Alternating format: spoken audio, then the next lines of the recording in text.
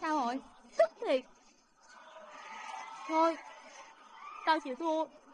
Nhưng mà dù sao cũng có mấy tấm ảnh làm kỷ niệm cho tao coi với. Coi đi. Ủa? Đâu hết rồi? Ủa hình đâu tao Ủa? không thấy gì hết vậy? Sao kỳ vậy? Coi lại coi. Trời ơi, tao quên bỏ thẻ Mày rồi. đúng là hậu đậu quá trời. Ổn quá à. Với những thành tích như trên, anh Thịnh và anh Phát được nhận giấy khen của công ty kèm theo số tiền là 10 triệu đồng. Đặc biệt anh Thịnh đang là xưởng trưởng xưởng may được phân chức làm phó giám đốc phân xưởng sản xuất. Đề nghị chúng ta cho một tràng pháo tay qua hô.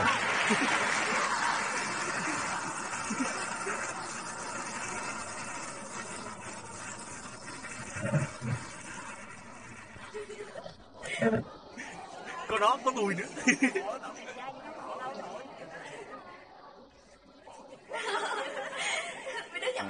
Dạ. Sau đây anh Thịnh sẽ đại diện lên nói về cảm nghĩ khi nhận phần thưởng của công ty. Xin mời anh Thịnh. Mày, lên đi.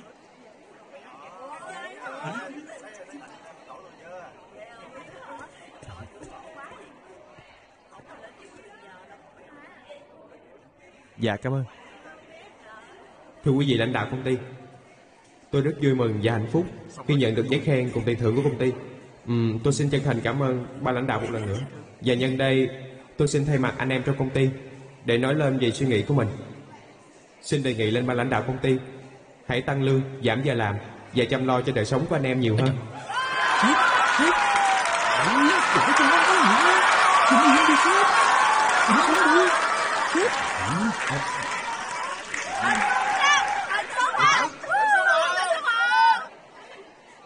Thưa ban lãnh đạo, thưa toàn thể anh em công ty. Việc đề bạt nguyện vọng của anh em trong công ty là một việc làm hoàn toàn chính đáng. Tuy nhiên, có lẽ chúng ta nên để một cuộc họp khác. Hôm nay trong chương trình của chúng ta được sự bố trí rất là khích khao, cho nên thời gian không cho phép. Bây giờ xin ý kiến của ông giám đốc ạ À, à, yeah. Ờ, hôm nay bà chủ tịch hội đồng quản trị có nhiều đột sức vừa ra ngoài cho nên à, à, sẽ hẹn lên một ngày khác cuộc họp của chúng ta hôm nay coi như là chấm dứt đề nghị quan nghênh ạ.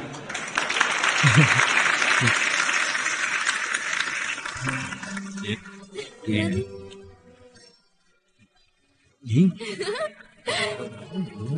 Anh giỏi lắm á. Cảm ơn. Cảm ơn. Mình đi ăn đi. Đi ăn đi. Dạ, đây mày. Phần của tao đâu? Tao cũng quên phần mày đâu. mày định làm gì với số tiền này? Tao để dành thêm để mua cái máy vi tính. Cảm ơn anh nhiều. Dạ.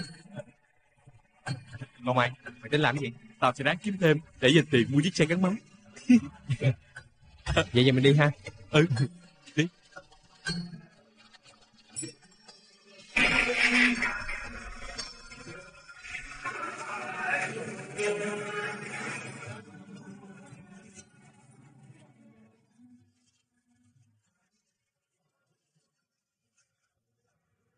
Bây giờ Dạ thưa giám đốc. Cô ngồi đi Dạ.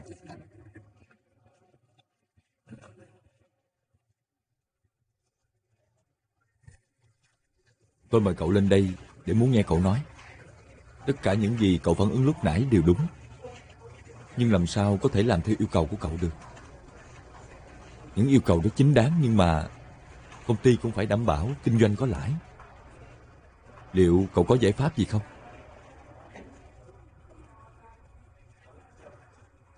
Sao cậu? Dạ, nhất thời con chưa có ý kiến gì. Ừ, giám đốc cho con thời gian đi. Con sẽ về viết bản báo cáo. Vậy thì tốt lắm Viết xong rồi cậu đưa cho tôi coi nha Cậu cũng biết rồi đó Cậu còn trẻ Có năng lực Suy nghĩ mạnh dạn như vậy là tốt Có gì cậu cứ viết thoải mái Cậu đừng ngại Dạ, con cảm ơn. Dạ, Thưa giám đốc con về Cậu về đi.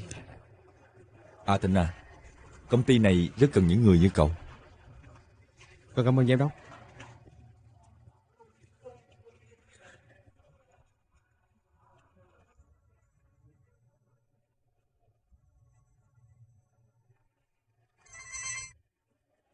Alo, Quả tình chúng tôi rất nể ông. Ông đã đóng góp nhiều cho nhà trường. Nhưng việc ừ, em Hồng Phương thuê người thi đã làm ở Mỹ lên. Thậm chí có một tờ báo đã nêu đích danh. Chúng tôi buộc lòng phải kỷ luật em thật nặng nề để làm gương cho những em khác. về việc kỷ luật con gái tôi thì tôi không có ý kiến gì. Thực ra, trong việc này gia đình cũng có lỗi vì đã không kiềm cặp dạy dỗ em cho tốt. Vậy nhà trường định kỷ luật như thế nào ạ? Hội đồng nhà trường còn chưa thống nhất. Phần nhiều thầy cô thì cho rằng cần phải đuổi dịch viên. Còn tôi thì thiên về đuổi một năm. Dù sao ông cũng là người Tôi cảm ơn nhà ý của ông. Thôi việc đã như vậy thì cũng tùy nhà trường. rất mong ông thông cảm. Đây là chuyện bất đắc dĩ. Tôi xin cảm ơn ông một lần nữa. Chào ông. Có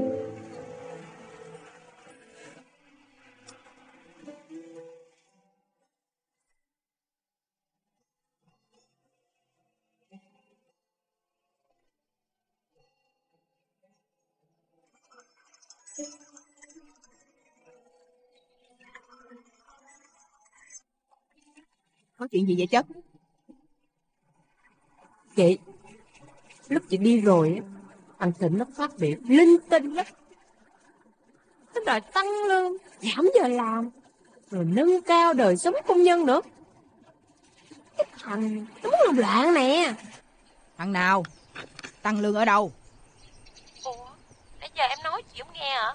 Nghe chứ sao không?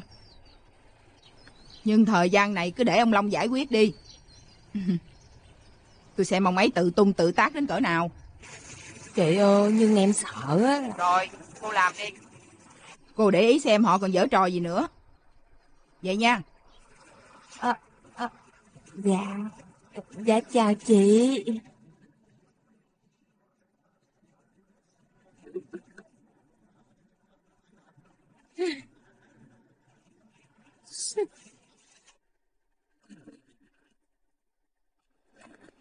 Ủa, má đi thăm ai vậy má? Mai thăm chị con Chị con. Má tính cưới chị Ngọc cho anh hai hả má? Cưới cưới cái gì Chị Ngọc là chị ruột của con đó Cái gì? Cái gì Có thiệt không má Thôi bây giờ đứa nào rảnh chở má đi đi Ừ, con bài rồi, con sắp phải thi rồi má. Má ơi Má có chắc vậy không Má kể con nghe đi Thôi bây giờ chở má đi đi Rồi trên đường đi má kể Đi nhanh lên Dạ ừ. Ba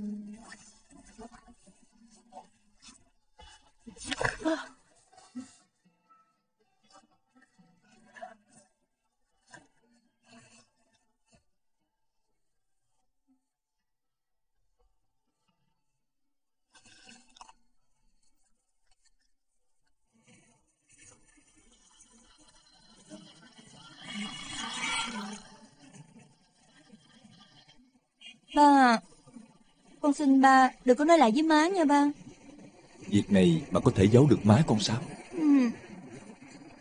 Ba không nói, làm sao má biết được? Được rồi, nếu má con không biết thì ba cũng không nói. Nhưng mà con à, Dạ. giai đoạn học hành là giai đoạn rất quan trọng. Nó hình thành nên nhân cách của con người. Thật lòng, ba lo cho con lắm. Ừ. Con cũng ân hận lắm. Nhưng mà ba cũng từng nói, đời người ai mà không một lần vấp ngã chứ. Quan trọng là mình có quyết tâm đứng dậy không mà. Cái chính là con thường giao du với những đứa không ra gì. Ba rất ân hận là đến bây giờ ba mới biết. Ba chưa kịp nhắc nhở con. Nói cho cùng là ba má cũng có lỗi trong việc này. Ừ. Ba, hay là nhân dịp này ba cho con đi du học với ba? Du học à, Dạ. Bây giờ con học ở trong nước, người ta sẽ chẳng bao giờ quên chuyện này của con đâu. Nếu như mà con được đi du học vài năm, con sẽ về làm cho ba. Hả? Vậy là không còn ai nhắc tới chuyện này nữa. Nhưng mà liệu ra nước ngoài Con có chịu học hay không Ừm, con hứa với ba mà, xin ba tin con. Ba, con hứa mà, ba tin con đi ba. Ừm, ba. Ừm. Thôi được rồi ba đồng ý Nhưng con biết rồi đó Việc lớn như vậy Má con mà không quyết Thì ba cũng bó tay dạ con biết mà. Ừm, nếu như mà ba đồng ý thì má cũng sẽ đồng ý thôi. Thôi đi cô.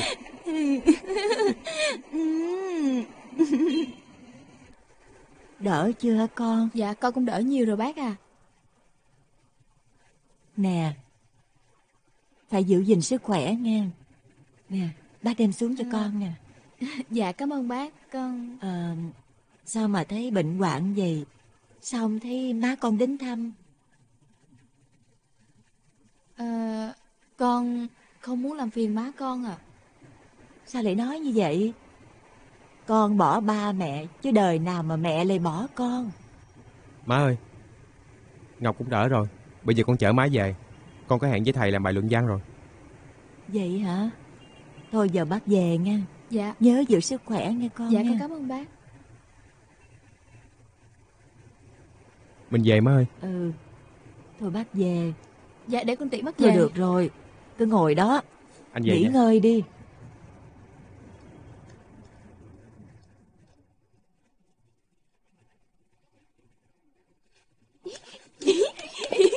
Chị Gì vậy? Trời ơi. Chị có bà mẹ chồng tương lai chu đáo ghê ha. Trời ơi, quá trời đồ ăn luôn nè. Chị Ngọc chị nào cưới? À, ừm. ăn đi em. Mọi người ăn đi. Liệu tôi lớn tuổi rồi còn có thể được không? Dạ được cô. À, Vẫn còn hy vọng mà. à vậy hả? Vậy thì tốt quá. Nhưng mà chúng tôi cần phải xét nghiệm để chồng lẫn vợ nữa. À, như vậy cũng được. Dạ chào cô. À, vậy hả? Má, Trời ơi, con làm má giật mình hả? mời má xuống ăn cơm. Ủa, má nói chuyện điện thoại với ai vậy? Ờ, với người của công ty chứ với ai? Ừm, sao có vẻ bí mật quá vậy ta? Ừm, má. Ba kêu má xuống để bàn chuyện cho con đi du học. Hả? Má ủng hộ con nghe. Cái gì? Ừm, má à, đằng nào sau này con cũng giúp ba má quản lý công ty. Ba má cho con đi du học cũng là đầu tư cơ bản cho tương lai, chứ có mất gì đâu chứ. Đầu tư cho cô hả? Ừm. Trời, nè, tôi để tiền mua vàng cất còn sướng hơn. Má, nói chung là má ừm đi.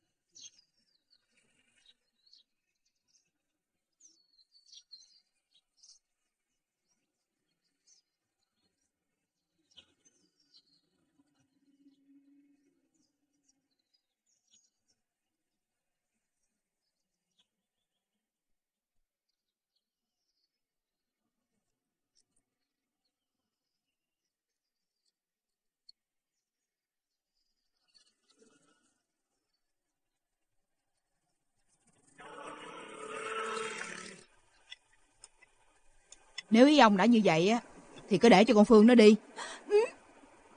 Đừng đi Mỹ rồi, vui quá. Còn việc của cậu Thịnh á, ông muốn giải quyết như thế nào thì tùy.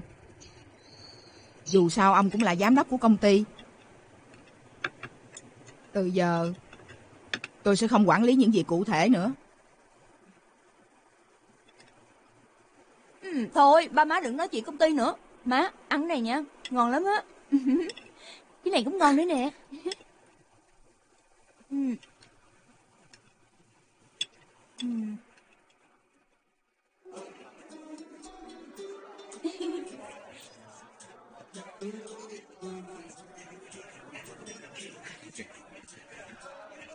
Chào em Chào anh. Anh đó, bắt em phải đợi nghe.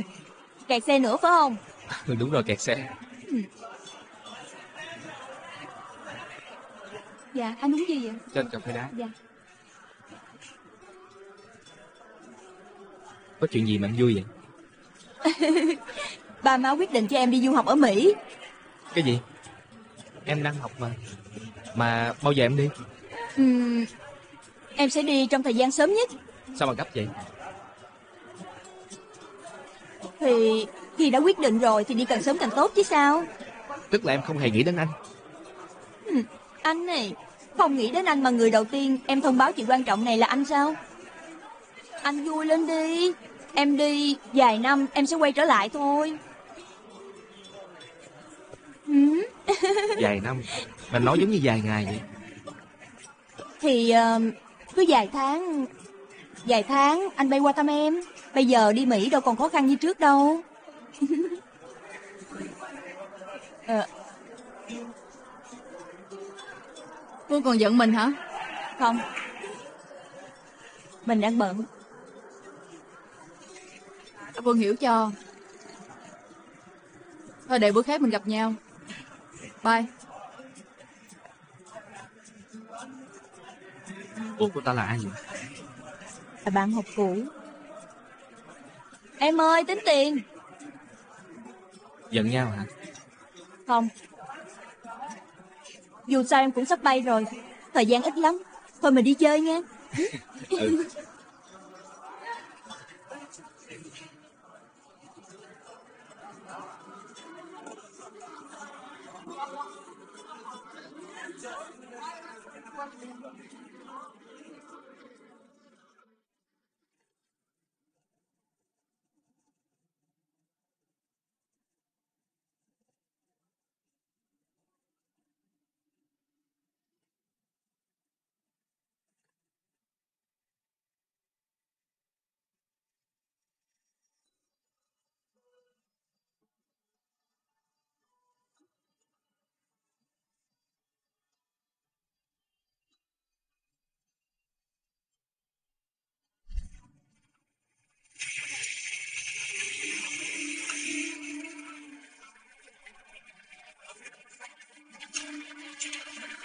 Mày sao vậy? Mọi người ơi, mọi người ơi, có xỉu rồi kìa. Mọi người ơi, Sao vậy Em ơi Người ngồi tới đây Có sao không em không biết có sao không? Thôi, thôi, làm đi thôi. Em đi.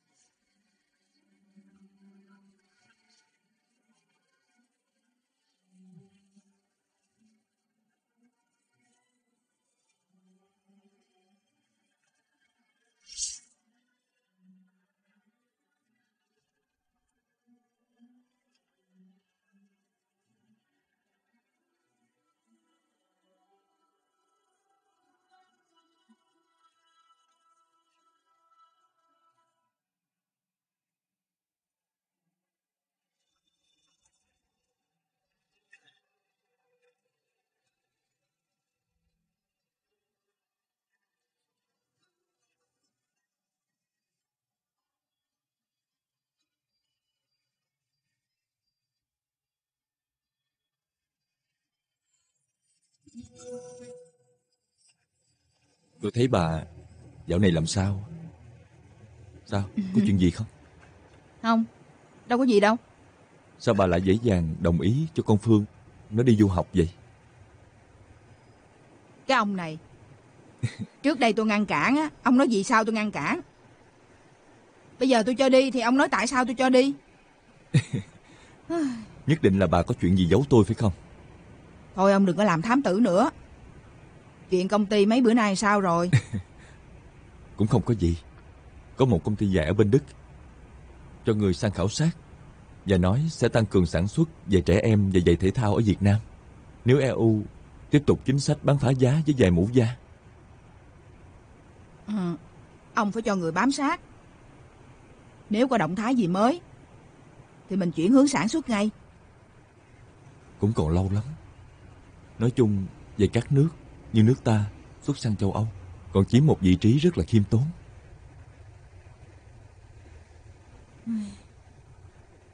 Còn thủ tục xuất cảnh rồi việc lo trường lớp của con Phương thế nào rồi? Bà yên tâm đi. Bây giờ dịch vụ người ta lo hết rồi. Cái con nhỏ này tôi không yên tâm về nó chút xíu nào. Cho ra nước ngoài không có biết có chịu ăn học tử tế hay không. Hay là ăn chơi hư đốn nữa. Có nhiều đứa học trong nước không hợp, ra nước ngoài lại khá hơn. Thì cũng không ít trường hợp. Tiền mất tật mang. Tôi lo quá à. Mà ông hay nuông chiều nó quá mức á. Bà nói vậy, chứ có nhiều đứa cưng chiều cũng ngon lành. Có nhiều đứa cha mẹ đánh đập, kèm cặp, dạy dỗ từng ly từng tí, hư vẫn hoàng hư. Nói về con Phương là ông binh vực nó hết mình luôn á.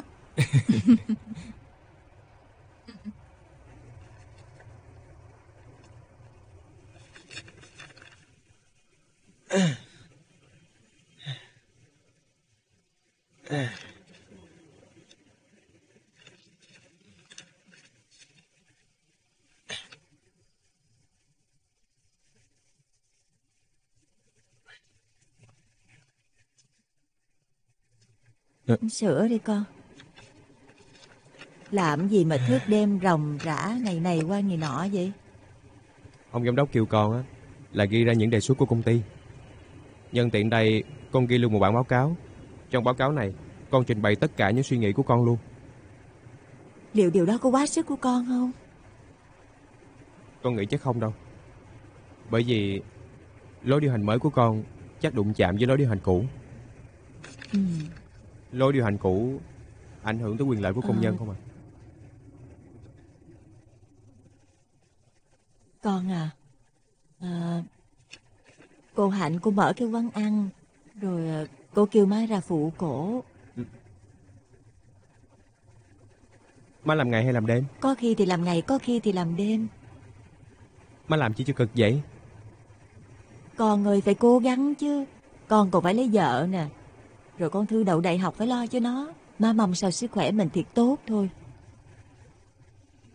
Má nhà nghỉ ngơi đi.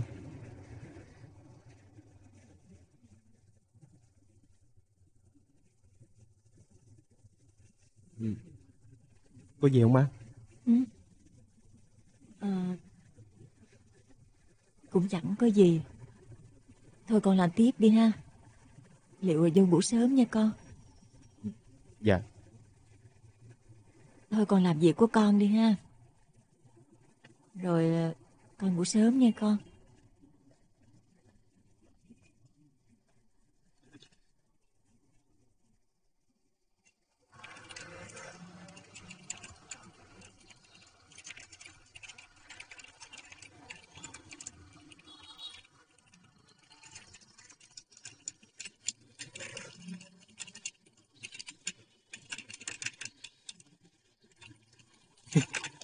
Ê Thịnh, chủ nhật không nghỉ hả ông tướng?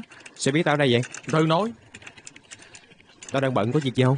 nghỉ qua rủ mình đi uống cà phê. Ừ? Thôi để bữa khác đi.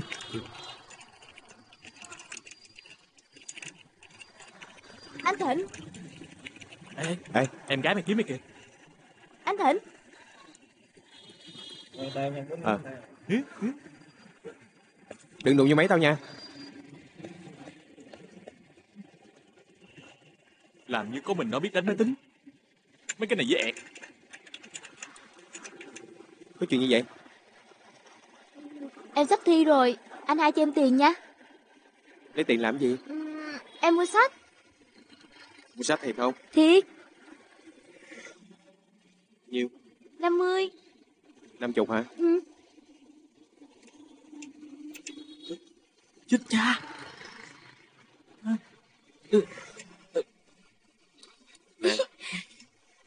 Cảm ơn hai.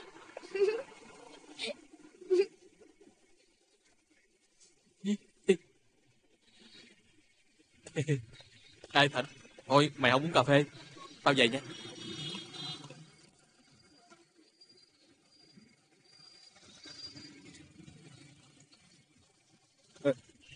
Ủa? Cái thằng này? Mày xóa dữ liệu của tao rồi hả? Ê, Vào đi. Cậu cần gì? Chào bà Dạ tôi kiếm ông giám đốc à Ông ấy đi họp. Có chuyện gì cậu cứ nói với tôi. Tôi về tôi sẽ nói lại với giám đốc. Dạ tôi có cái này Muốn đưa cho ông Long Cậu định đưa cho ông Long hả? Dạ Ông ấy dặn đưa cho ông ấy À, được rồi. Lát nữa tôi sẽ đưa cho ông ấy. Cứ đưa cho tôi.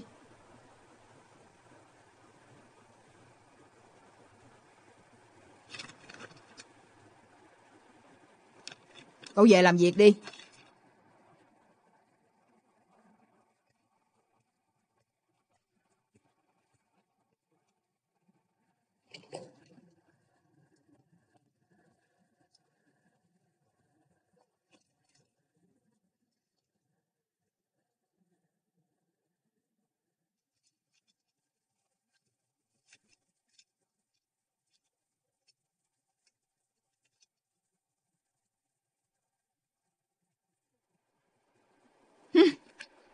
Toàn là những đề xuất có lợi cho người làm không hả? Khi nào cậu tổ chức điều hành công ty bằng chính đồng tiền của cậu, thì cậu sẽ nghĩ khác. Toàn là cái gì đâu không?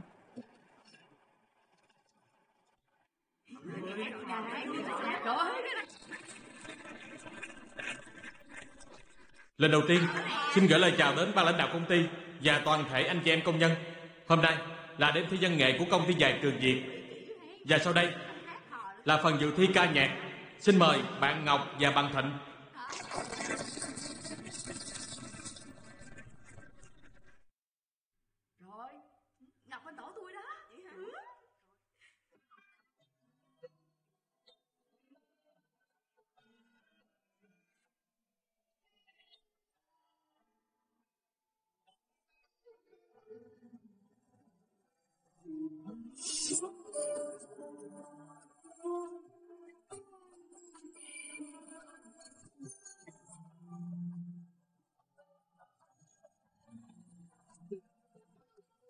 Tình yêu có lúc tình cờ ngỡ như lượn hờn Ngỡ như là một phút sẽ qua. Tình yêu có những giận hờn ngỡ như chẳng còn. Yêu thêm dù một lần nữa, Tình yêu có lúc sự khi ngỡ như mộng mị Có hoa hồng và có tuyết sơn Làm con tim thấy buồn hồn ngỡ như yêu thật sự. Cho nhau chiếc hôn nồng nàn, tình yêu chẳng điều là lúc yêu thiết bên nhau vượt qua sóng gió tình yêu có lúc bối rối, con tim như muốn nói trao nhau ngàn lời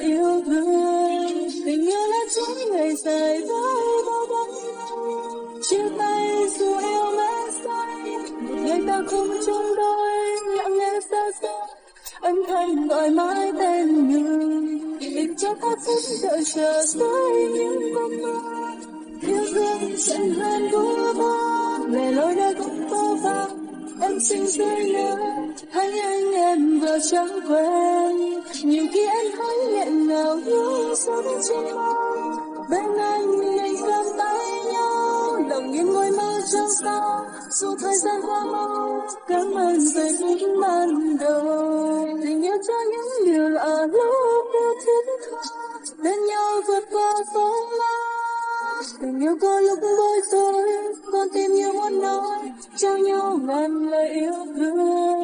Tình yêu là chuỗi ngày dài với bao đắng cay chia tay dù yêu lắm say, một ngày ta cùng chung đôi, lặng lẽ xa xôi âm thầm gọi mãi tên người. Để trong phút phút đợi chờ suối lẻ loi nơi vẫn phố vàng em xinh dưới nữa hay anh em vợ chẳng quen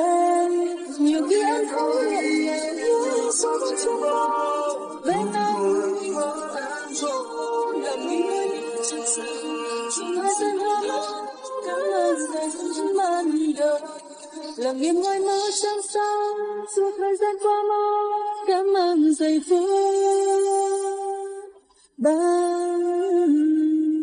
đầu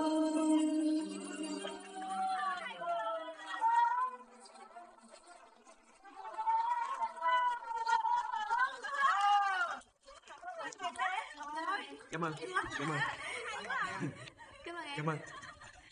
Cảm ơn anh nha. Công nhận nha, tập luyện nó khác ra. Và sau đây xin mời mọi người đến với phần trình diễn của một khách mời rất đặc biệt của chương trình tối đêm nay. Tên là Chúng được biết. Xin quý vị cho một tràng pháo tay thiệt là lớn.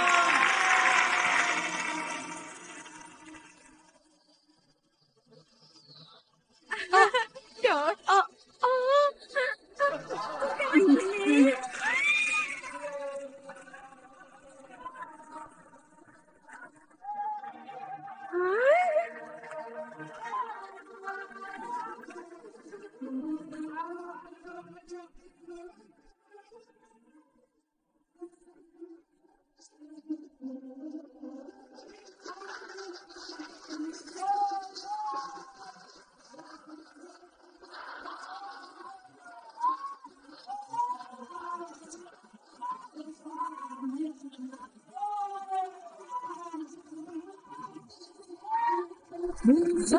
đêm bên anh đừng để một mình em trong đêm lạnh lùng.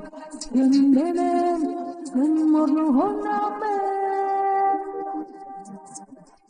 đừng quên em đến đây để một lần em biết yêu thương trọn vẹn dành cho em trọn tình yêu. Nhé Give one more, one more time Hãy cho em một lần được ôm anh trong tay. Gạt hết những cứ muốn phiền của ngày hôm qua Give me, give me, give me one more, one more time. Để anh không cô đơn khi đêm đêm vây quanh em. Để chút ánh sáng soi đường trước tình yêu đôi ta. Thank you, darling, for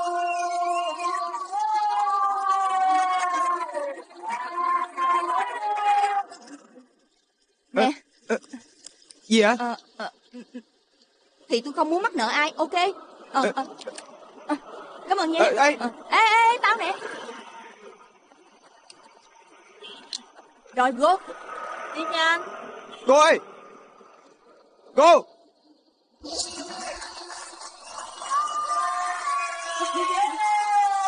Xin cảm ơn, xin cảm ơn rất nhiều. Cảm ơn.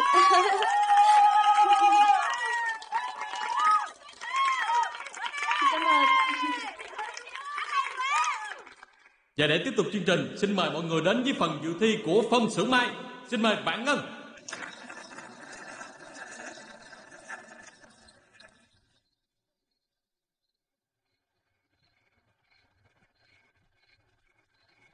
Em không ngờ là em trình diễn được hay như vậy á.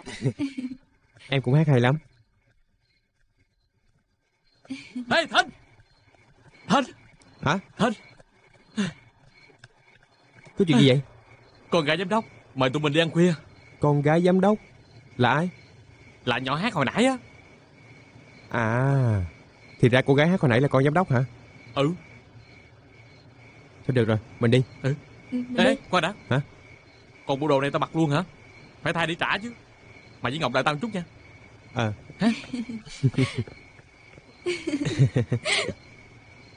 Xin giới thiệu với mọi người, đây là Phương, à, con gái bà giám đốc, còn đây là Phát, Thịnh. Ừ. Dạ. Và đây là Ngọc.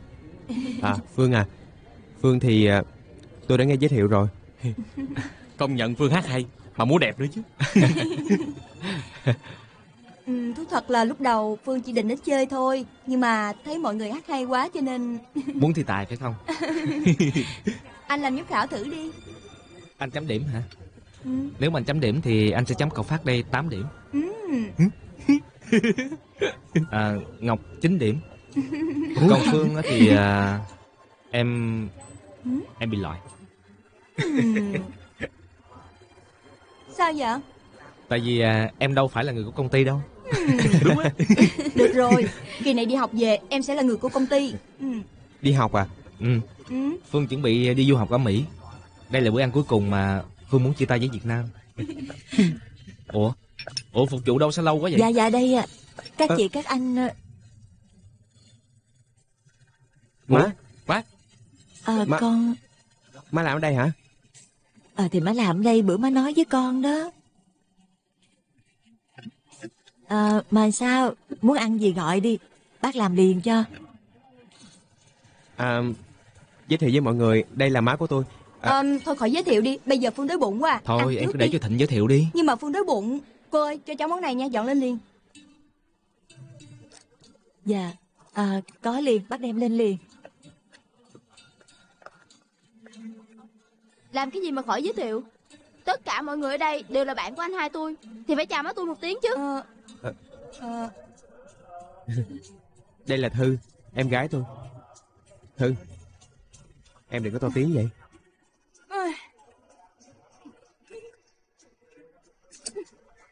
Đi về, không ăn nữa, mất hứng quá. À. Phương